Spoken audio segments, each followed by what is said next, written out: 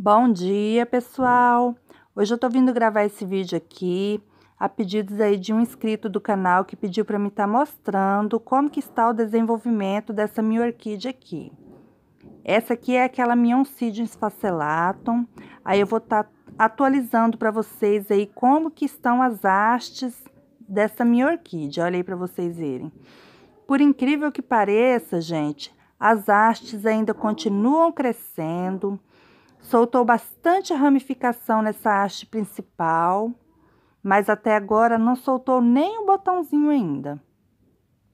Então, pelo que eu pude observar dessa orquídea aqui, que a floração dela demora bastante, até o ponto dela soltar as flores.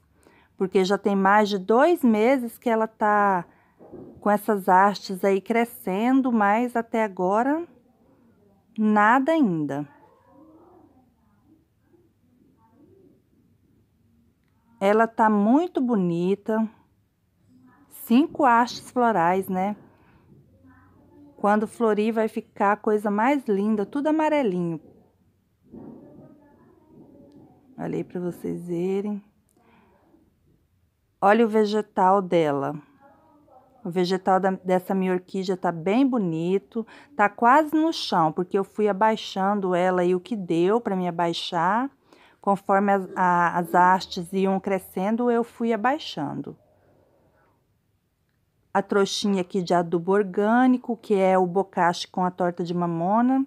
Como vocês aí que acompanham o canal sabem, que é o adubo orgânico que eu uso aqui. Coloquei, coloquei também umas bolinhas de osmocote direto no substrato. E ela tá assim, bem bonita. Aí, gente, quando ela florir, eu vou estar tá mostrando novamente para vocês, tá bom? Espero que vocês curtam o vídeo. Se inscrevam aí no meu canal, quem não é inscrito ainda. Muito obrigada a todos vocês que estão assistindo os vídeos e até a próxima, pessoal!